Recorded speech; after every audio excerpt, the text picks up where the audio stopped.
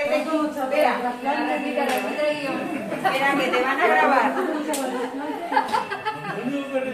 Darle las gracias a todos por lo bien que se han portado, el interés que han tenido con nosotros y que no tengo palabras para agradecérselo a todos. muchas gracias por todo. Muchas gracias.